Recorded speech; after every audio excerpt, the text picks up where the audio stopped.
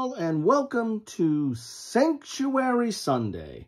Sanctuary, where I take a break from my weekly wargaming content to tackle a topic that uh, is near and dear to me, but yet not wargaming or not sci-fi or fantasy, because that's on Saturday.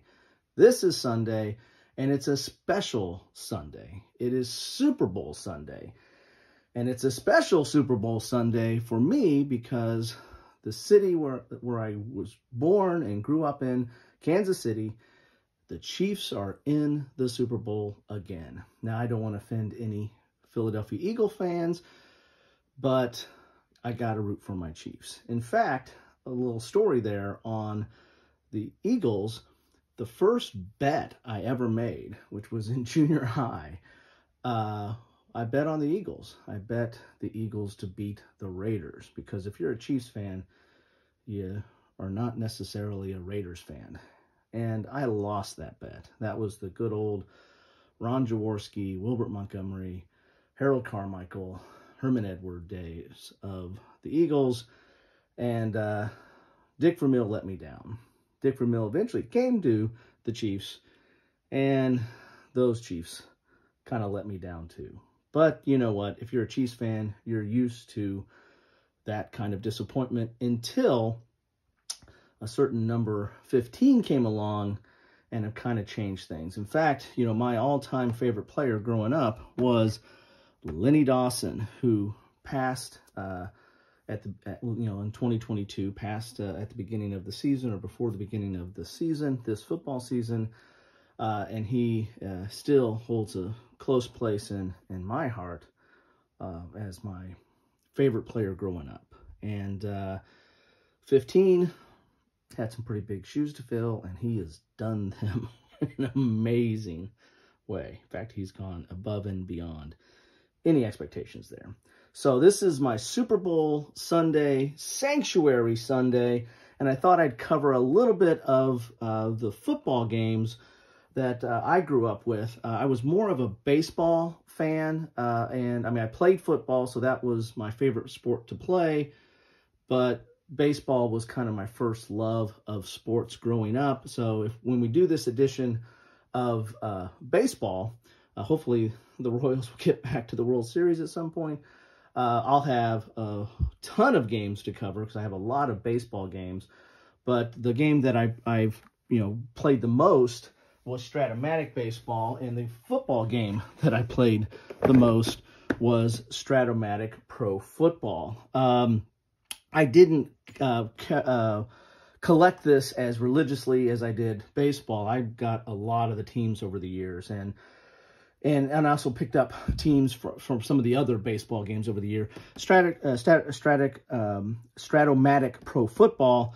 I, I, did a few seasons of that, um, and uh, but again, because I just wasn't uh, as rabid a football uh, collector uh, of games, but played a lot of Stratomatic football. Uh, this is a game in which it you know recreates or or tries to simulate the the football season. You know, you have the stats of the team, and then you play the game, and um, uh, and you can play a whole season and see how the stats uh, line up. And I played several seasons of this. Uh, this was a little bit different than baseball. Baseball was just a, pretty much a straight over, you know, roll the dice, uh, have pitcher versus hitter.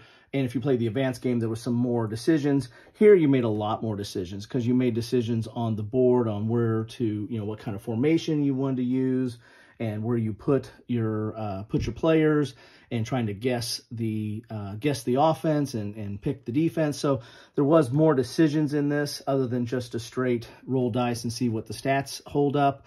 Uh, there was a little bit more involved in that. Uh, other games that I played or picked up over the years, I played some Statis Pro football.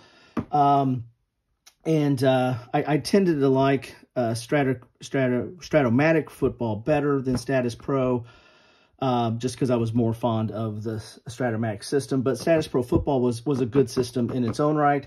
I had also picked up uh, SPI football. This actually predates some of these, but this is really basic uh, and really did not have the support of having a lot of teams with it. This These were more you know, full season uh, type simulations. This was just kind of a, a historical type sim and, and, really wasn't all that, you know, whippy uh, as far as my, my, uh, my feel for it.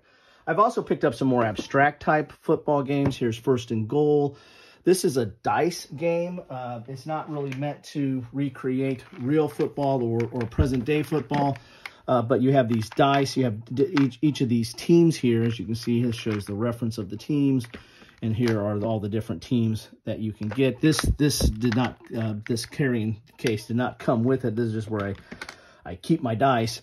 But you have these teams are represented uh, these the teams are represented by dice, and you're going to roll the dice, uh, and some of them have are based the, the dice are all unique, and you got to put the stickers on all of them. That's real fun, but um, they have different abilities. Some teams, you know, are, are, good at running. Some teams are good at passing. Some teams are really good at defense, and these dice play that out. There's also cards that you you know the cards in this game were basically how you um, the timing of the game and and how you played the cards and, and picked offenses defenses basically determined how a quarter went. Uh, and uh, so there was some card play and some picking of offenses and defenses but there was uh, unique dice rolling that was in that game as well.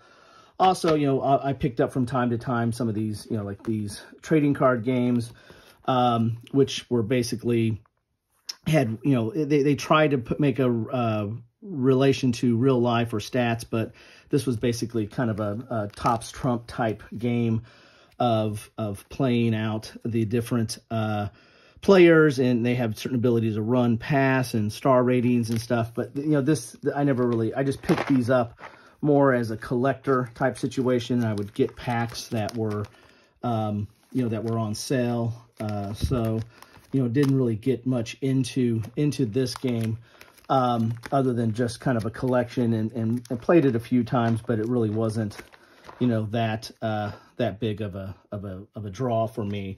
And you know, there's all these, you know, gridiron football. This is like a little card game. It says it's realistic. It's really not. I mean, Statis Pro and uh, Strat-O-Matic were much more realistic than that. Uh, I have some other football games, but they're kind of ferreted away.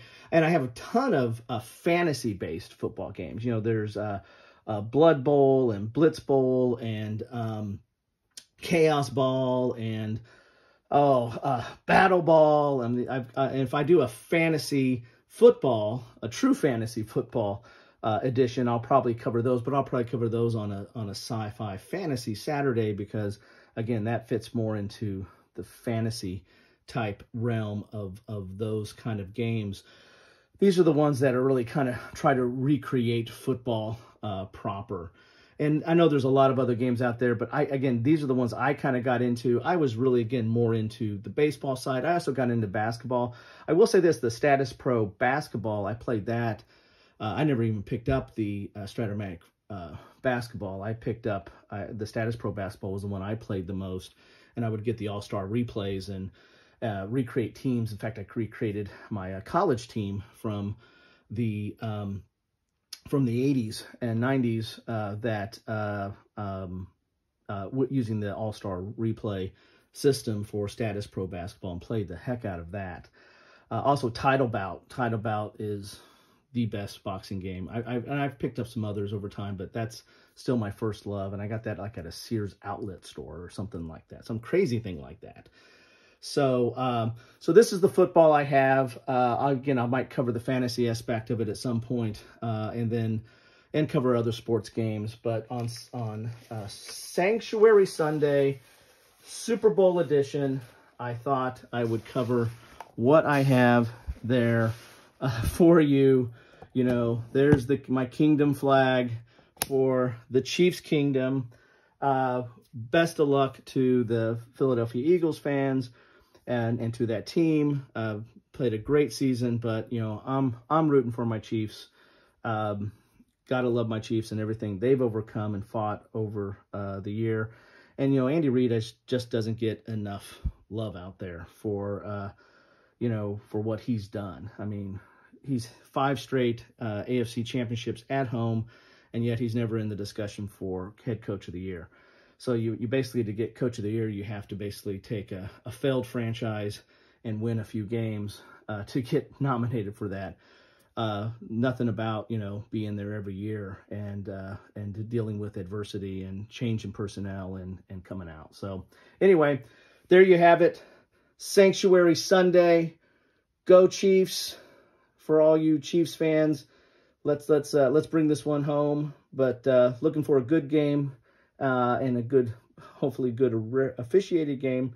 Don't get me started on that. Anyway, have a good one. Sanctuary Sunday. Go Chiefs.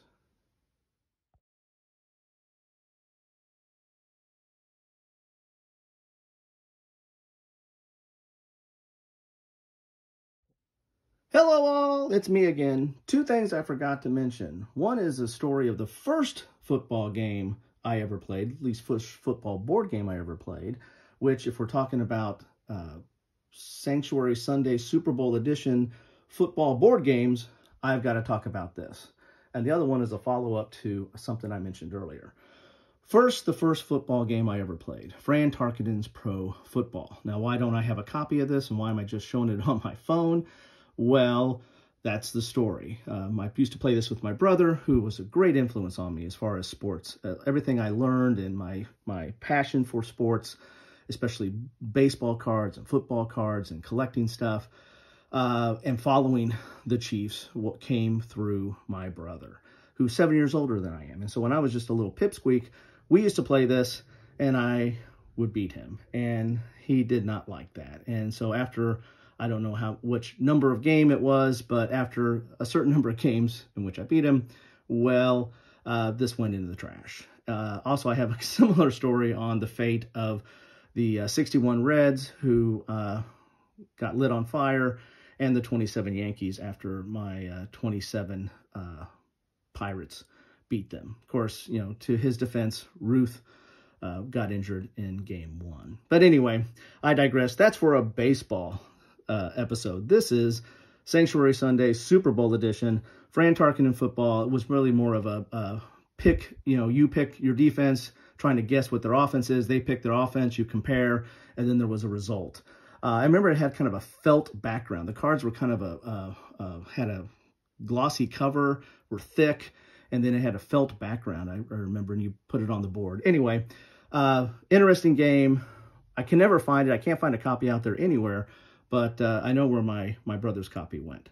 Now for the other story. As I said before, uh, my first football bet ever was in middle school uh, with, uh, I took the Eagles against the Raiders in the uh, 80 Super Bowl or 1980 uh, season. And the person I bet with ended up marrying the person I was dating at that time. Now, that wasn't the subject of the bet, but I found that a little bit interesting. I was just thinking about that the other day, that uh, first football bet I ever made that I lost, I lost to the guy who ended up marrying the, my girlfriend of that time. Anyway, strange things can happen. Strange things happen around football. Let's hope that it doesn't get too strange uh, for the Super Bowl. And let's bring home the victory Go Chiefs!